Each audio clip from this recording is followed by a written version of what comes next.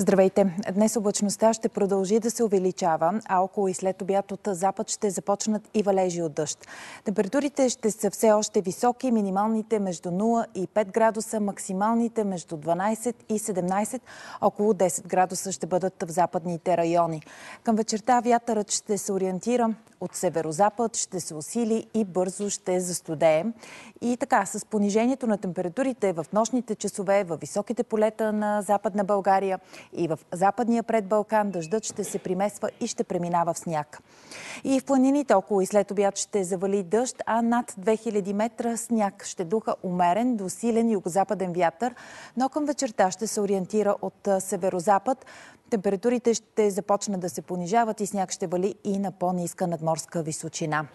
Утре ще продължи да вали дъжд, но в предбалкана и по високите западни полета е възможно отново да се примесва и с сняг. Времето ще бъде и значително по-студено, но от петък температурите отново ще започнат да се повишават и през почивните дни и в началото на новата седмица ще бъде предимно слънчево и ще продължи да се затопля. Такава е прогнозата за времето. Следват новините с Ангел Бончев.